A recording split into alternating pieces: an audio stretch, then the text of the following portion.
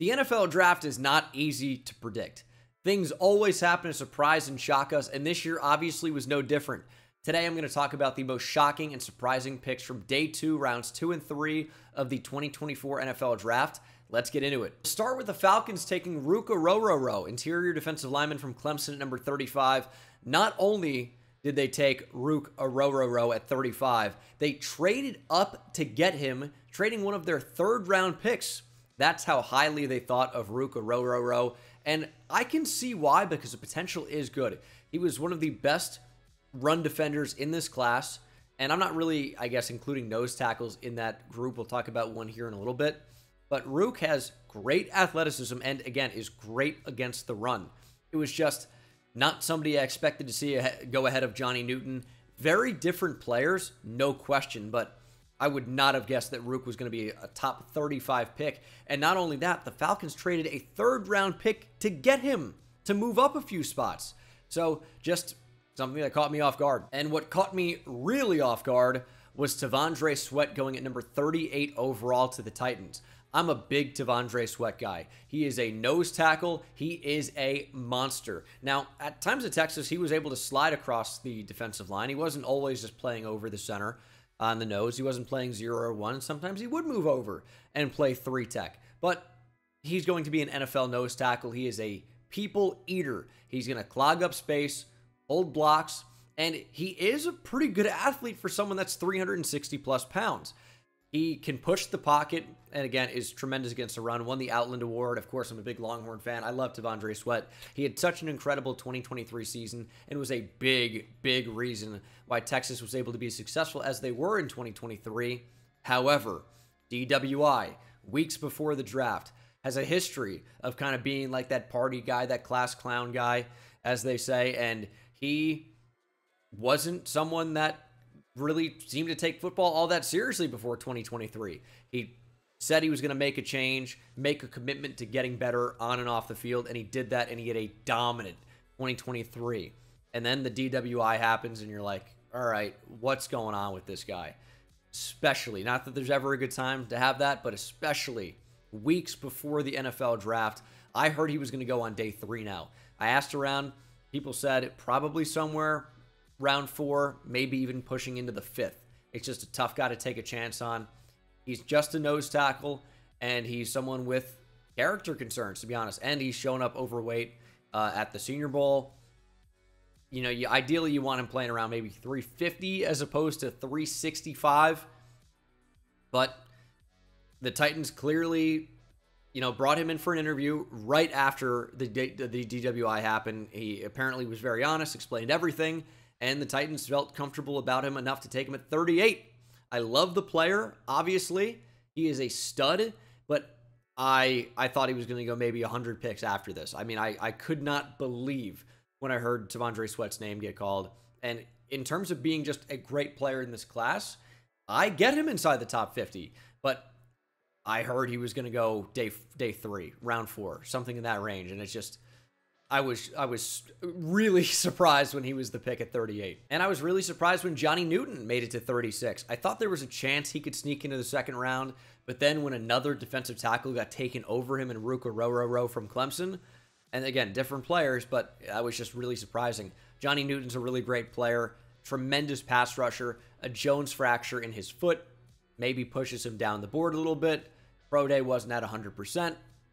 That's why he's available at this spot. And then a team that does not need interior defensive line took him with Daron Payne, with Jonathan Allen. Yes, it's important to have a rotation of guys on the defensive line, and I don't hate it. They're got they're getting a really really good player in Johnny Newton. This was just not the fit I saw happening. I thought maybe the Falcons were moving up for him. Nope. Commanders stick and pick, get Johnny Newton. It's a great pickup. I promise this list is not exclusively defensive tackles, but uh, for the time being, we're talking about defensive tackles, and Braden Fiske was the pick here for the Rams. Why was this so shocking? Well, not only did the Rams take Braden Fiske at 39, there was a big run on defensive tackles, as you can see. Ruke at 35, Jer'Zhan Newton at 36, T'Vondre Sweat at 38. The Rams are like, all right, we got to make a move. But why was it so crazy? Why was it so shocking? The Rams gave up a second round pick next year. Unbelievable. A second round pick plus a pick swap to go up and get Braden Fiske. And Fiske kind of profiles to play the role that Kobie Turner would play.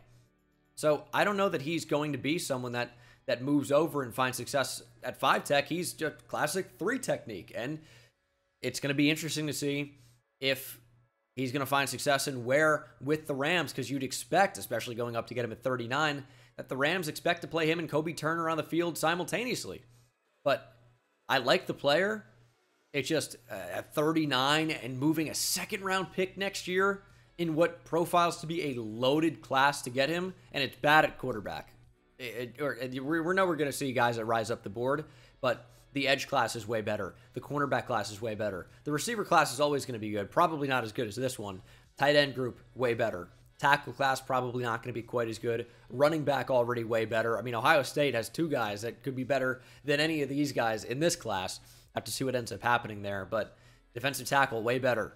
Linebacker, probably going to be better. Safety, way better. Like, and I know, eh, well, we always say the next class is better. No, we don't. No, we don't. Maybe for certain position groups, but this class in 2024 is not especially deep. Overall, it's not. A lot of positions are really, really thin. Deep at tackle, or at least very top heavy, because we had so many great ones that went really high. Receiver as well. But in terms of overall depth, and you've heard them talk about it on NFL Network, maybe ESPN as well, like teams have maybe 50, 60 guys that they, you know, really view as good players in this class. The rest role players, you know, pick your poison, whatever flavor type of player you want to fit in a particular system, but they're not overall studs. Next year should be like more like a regular draft class. So this is a weird year. It absolutely is.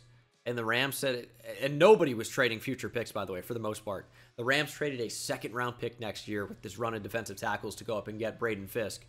It was just I, I couldn't believe they were willing to give up a second round pick in order to do that. If you look at the trade value chart, the cost of 39 or the associated value is like 1300 uh, points and a second next year plus their second this year overall was like 2300 total it's like a complete fleece by the panthers moving out of this pick but if braden fiske ends up being a great player we're not even talking about it like it's bad value but we'll see if he can become that. Some Drew Sample vibes with this one. Tip Reiman from Illinois was the pick here for the Cardinals. They took a blocking tight end to 82. I like Tip Reiman. I do. I thought he was going to be good value down the board to a team, you know, looking to really improve in jumbo sets and bring out a really good blocker, goal line type tight end. Uh, of course, you already have Trey McBride. That doesn't really matter. You're drafting Tip Reiman not to be tight end one, but for tight end two, three, blocking tight end, and I was surprised to see that happen at 82. I thought Theo Johnson would go ahead of Tip Reiman. I obviously thought Ja'Tavion Sanders would go ahead of Tip Reiman. I thought there were going to be a number of tight ends that came off the board before Reiman. Reiman not only goes ahead of all those guys, none of those guys even go on day two. Reiman, day two, 82 overall. I was, uh, yeah, not ready for this pick. And I was also surprised when the Cowboys took Marist Liufau out of Notre Dame. I thought he was a similar type player to JD Bertrand, and I might have even valued JD a little bit higher. And I look at the Cowboys, and of course, we know they need running back. That's a need for them. How do teams value running back? Not as much as they used to, obviously. But for Liufau, I'm like, you drafted DeMarvion Overshown last year. When I, I think about the skill set of Marist Liufau, I'm looking at like a spot dropper, someone that maybe can, uh, you know, play the spy role like DeMarvion Overshown, I thought was drafted to do. So if you like him, you know, go get him, sure. But it just kind of felt like, why are you drafting Liufau when you drafted DeMarvion Overshown to do the same role last year? Is it already over with him? You have Damone Clark, who I like. Of course, you can never really have enough linebackers. You know, two good ones is never going to be enough. And Overshown, of course, rookie last year, but also you have Markquese Bell, who's been playing linebacker, who kind of feels like he has a similar skill set to what you'd want Marist Liufau to be doing. I just, I, special teams, and then you're doing that at 87. Uh, it was interesting. And we'll end things with Luke McCaffrey, the 100th pick in the draft. And I like Luke McCaffrey. I think Luke McCaffrey could end up being a good player. But I was just, with all these great receivers on the board, surprised that Luke McCaffrey went ahead of those guys. Like, of course, got to talk about Oregon receiver Troy Franklin. I thought he was definitely going to go ahead of Luke McCaffrey.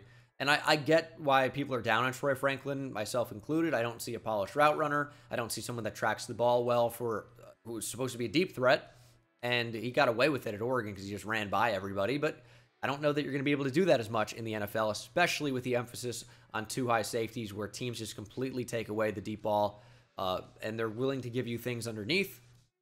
I, you know, Troy Franklin maybe is a specialization that is becoming less valuable nowadays. So he falls a little bit, but I thought he'd be a top 100 pick. I didn't know that Luke McCaffrey would be. So it was just, I like McCaffrey. I thought he was going to be good value to someone, maybe fourth or fifth round. I don't think it's a super big reach or anything, but just in a stacked receiver class, if you told me Luke McCaffrey was going to go ahead of not only Troy Franklin, but Malik Washington, ahead of Brenden Rice, who got some hype, ahead of Tez Walker, ahead of Javon Baker, ahead of so many talented receivers. Not that he's not one. It was just I thought all of those guys would go ahead of Luke McCaffrey. Didn't end up happening. He's a good player, and I'm excited to see what he can do with the Commanders. Even though I hate that team, I think Luke McCaffrey can end up being you know a pretty nice player. But that was certainly a shocking pick just because of the other receivers available and kind of the consensus big board and. Uh, you know, it's it's interesting, but that is the video, the most shocking and surprising picks of the 2024 NFL Draft for day two. And let's get ready for day three. I'll be live on Twitch, maybe as you watch this, twitch.tv slash Bengal for at least some of day three. Make sure to stop by. Link is down in the description. Take it easy.